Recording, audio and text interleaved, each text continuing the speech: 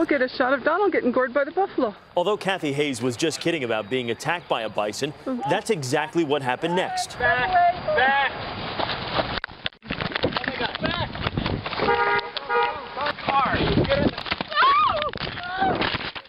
Hayes, on vacation in Yellowstone National Park, captured it all on her camera as her brother in law, Donald, got too close to the animal. back, back.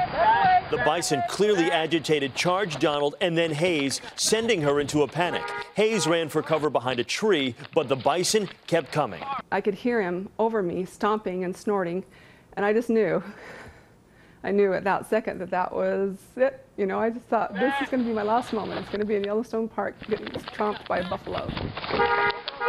A closer look at the video shows a stick hitting the bison in the back, which may have further provoked the animal. The attack is a stark reminder of the park's policy to keep your distance from wildlife.